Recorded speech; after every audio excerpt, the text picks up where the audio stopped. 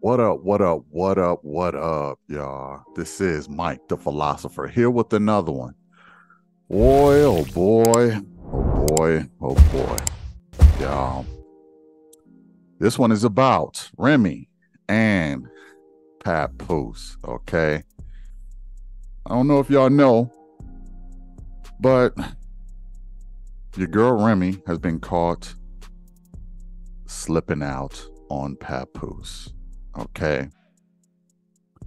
And I have to say, just in my opinion, that uh, on the on the female side, there have been a lot of L's that are being taken right now. Okay. You got Jada Smith, you got Remy, you got a number of different ladies who are taking L's in the community. Okay.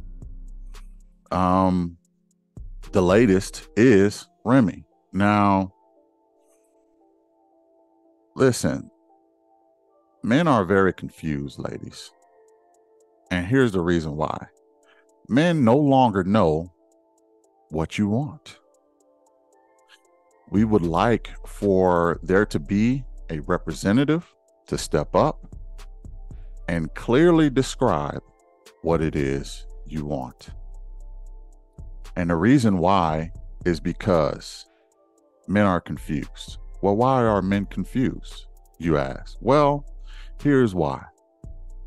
If you pick some of the best relationships described by women, we will, we as the men delegation will see a problem with those relationships. You want some examples? Fine. Here are some examples. Will and Jada Smith. Now, women might want a high value man who is a celebrity, who's known worldwide, who is relatively handsome, very successful. But then she goes and and sleeps with her son's friend. Men don't see the value in being all of those things only for that to happen. You want another example? Here's another one Steve and Marjorie Harvey. Okay. Steve is, you know, act like a man, think act like a woman, think like a man. You know, he's a relationship expert. Turns out there have been rumors that have been going around that his wife is sleeping around on him. Now, he does nothing but praise his wife, does nothing but give her practically everything she wants. And we see that backfiring in the men delegation we disqualify this relationship as being beneficial to the man, just like the Smith situation. Example number three Remy Ma, uh, uh, Jeannie Mai, and Jeezy. We see in this relationship where he has a woman that he can't get along with. She's ornery, she's disagreeable. She wants everything her way. She's moving all of her family into their house. And he can't deal with that. Apparently, she doesn't want to listen to Jeezy. So he had to file for divorce. We in the male delegation, we do not see the benefit for the man in this relationship. okay. Uh can we get some cooperation, please? Now, I know what some women are saying. Look, this is not all situations. I'm just saying these this is a good sample of dating or even marriage in the West. And men, after day after day after day, see these relationships not benefiting the men. And these are relationships that women adore. These are the relationships that women love. And the latest example Remy Ma and Papoose. Now, these two were pretty much the poster child for black love. They were the poster child for love, period, among couples. Remy Ma, a dope MC, and Papoose, even doper MC. Okay. They showed a lot of the black community how love is supposed to look. Like I said, they were the poster child for black love, even wore a hat that said black love. Okay. Remy Ma goes to jail for what, six, seven years. The whole time, Papoose holds her down before they even get married. They get married, I believe, while she's in jail. Have conjugal visits, you know, he sees her and visits her every day. they become a strong couple. He doesn't cheat on her at all, holds her down the whole time while she's in jail. It's, it's, it's, it's as if the, the roles were a bit reversed, okay? And it, again, this is a relationship that women point to as an, a good example of how it should be. But what happens? Remy Ma decides she she wants to cheat on Papoose, a man who has held her down for years. Not only while she was in jail, but as a married couple. She decides to go out and cheat what they call the beekeeper thief. Okay. And this guy is named Eazy, the block captain. Okay. And this is very embarrassing because she got in a battle rap, uh, a battle. It wasn't her directly, it was Eazy, but they got into a battle and the guy let the world know. Remy, you are up here supporting the victim. We done had six chrome events. Six chrome events. Papoose was at all of them. How come he ain't at this one? Where he at? He ain't in New York. Why we ain't in New York? Cause the last time there your husband punched on him, so you actually brung it to where he more comfortable at. So if he did decide to show up, this weirdo can have the ups on him. Man, you foul for real. I hope that awkwardness in your home, your child don't feel. How can you support and how can you protect the nigga that showed he couldn't protect you is wild for real. This nigga's a chump. This nigga's a chump. You know he ain't got the heart fool. Fucking a nigga bitch when you ain't got hands ain't even a smart move. But listen, that ain't even a smart move. Hey, hey, every interview, every interview, every interview, hold it down, he already dead. Hold it down. Every interview, he show his admiration and tell the world how his woman the greatest. Nigga, he held you down in prison for six years. I know it was nice. He cried big tears. He stood by you by your biggest accomplishment, front row, giving you big tears. Now y'all got a beautiful baby girl who oh so amazing. He'd be damned if he lose you to this bozo with braces. Nigga, hey, hey, the world ain't never supposed to know what you and me going through. Hey, the world ain't never supposed to know what you and me going through. But this nigga behind closed doors running his mouth like a hoe supposed to do. Got niggas making blogs and YouTubes. People arguing in the comments if those posts is true. Cause them TMZ and Shade Room outlets, they only know you. Listen, hey, hey, they only know you. And this is this is this is what's going on right now. And it is very confusing for the male delegation because we say, ladies, this is what you wanted. This was an example of what you were talking about. But you go and you cheat on the man who held you down, who promoted black love. What is it that you want? Because it seems if a man gives you everything, you don't appreciate it. And you even have less respect for that man.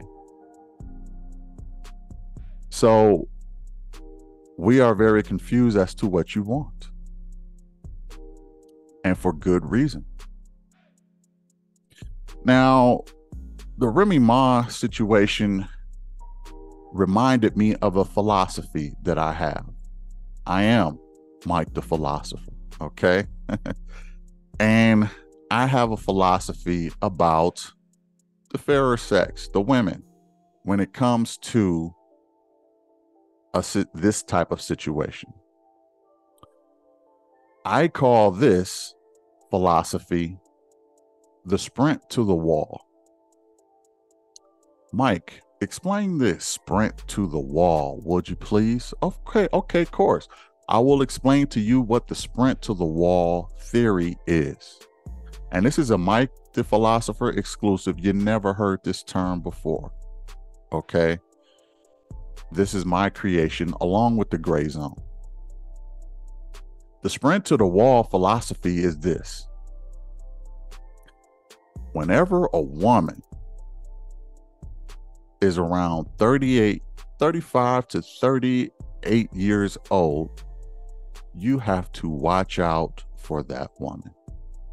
Why do you have to watch out for that woman? Well, because they are going through what I call a new puberty.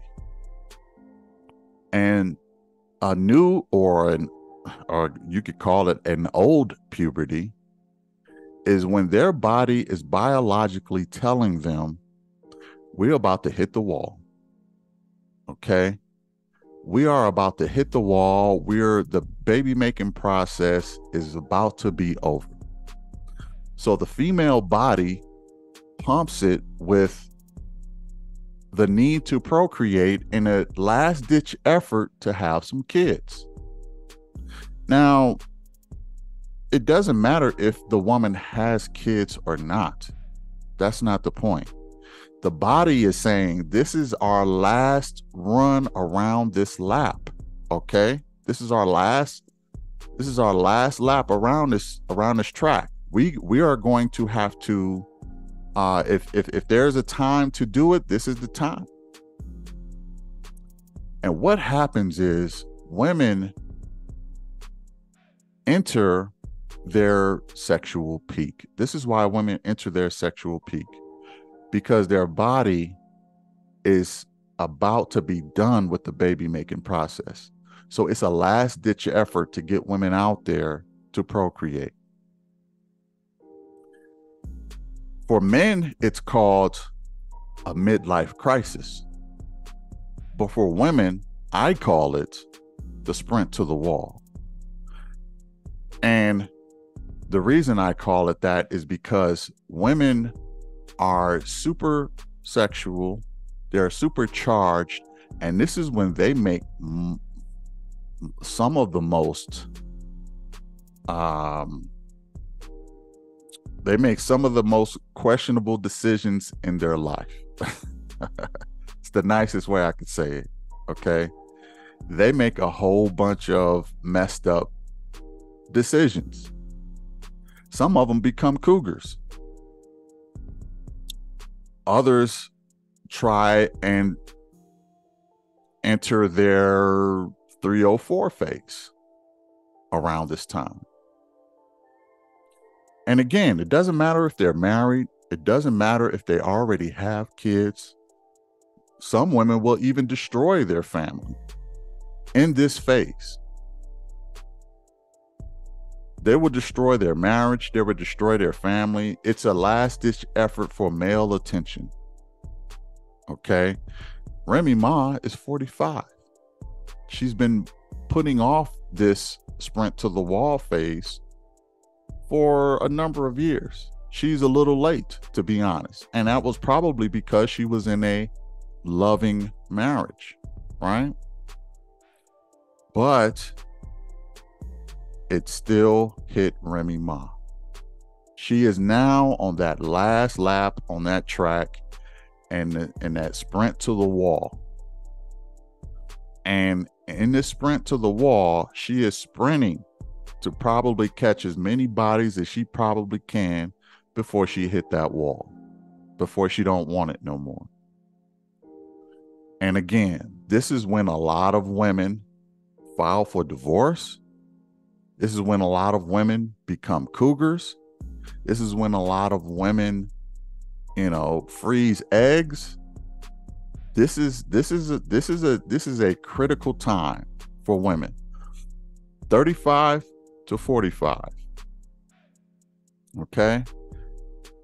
If I'm being honest, personally, I watch out for women in this age range because I know it's coming. I'm not saying that they're undateable. They're still dateable. There's some, still a lot of great women in this age range. However, in the back of my mind, I'm thinking she is due for her sprint to the wall. She is due for it. Now, some might say, well, you know,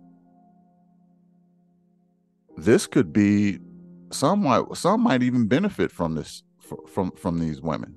Okay, if you're if you're if you're the side dude and you're not the husband, you could benefit from this. Okay, you as the side dude can benefit from this. I love some side dudes say I love women who are in the sprint to the wall phase because they're coming towards me. But if you are in a established relationship, that 35 to 45 age range is dangerous if you are established because women are going to want something different. This is a what I would consider a primal instinct.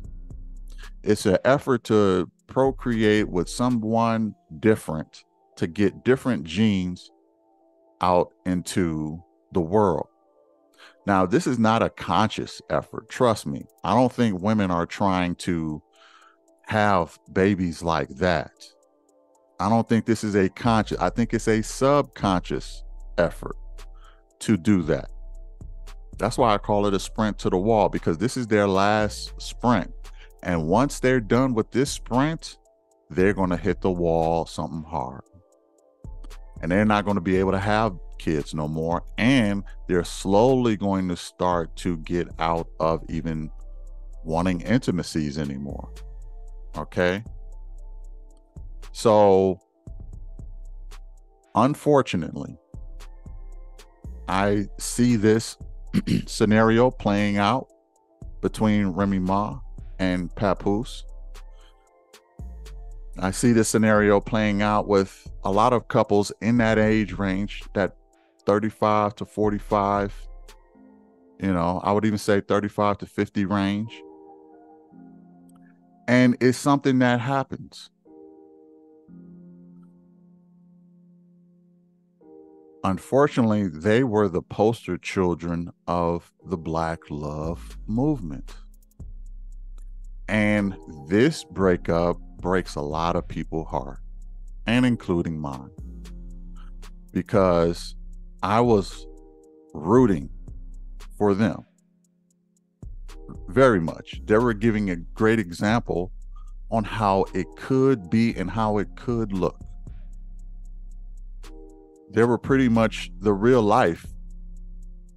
Well, maybe not the real life Cosby's, but the rap version of the Cosbys. Okay. Now, one thing I noticed is that Remy Ma is very masculine as a woman. I never really thought that she respected Papoose in a way that she should. I've seen this years ago. I always seen Papoose putting her on a pedestal. I never seen her put Papoose on a pedestal. Remy Ma has masculine energy. Their roles were reversed. Okay. Remy Ma has she's she's a competitor. She's in a she's a battle rapper. That is a masculine trait. She is a rapper, period. That is a masculine trait. It looked to me that she never, ever viewed Papoose in the same way he viewed her. That part I did not understand. But for the sake of black love, I said, I'm just going to see what happens. But I seen, kind of want to say I seen this coming a mile away because I seen how she viewed him long ago, long ago, long ago before this even happened. And I always said to myself, Papoose, why do you keep putting this woman on a pedestal and she never does that with you? Why are you doing that, bro? Why are you doing that? But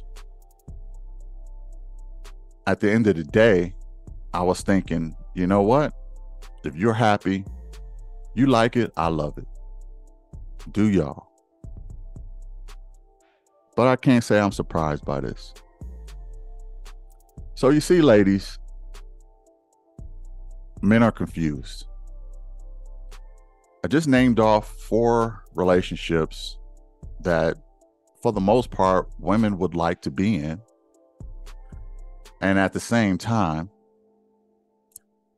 it's always non beneficial for the man.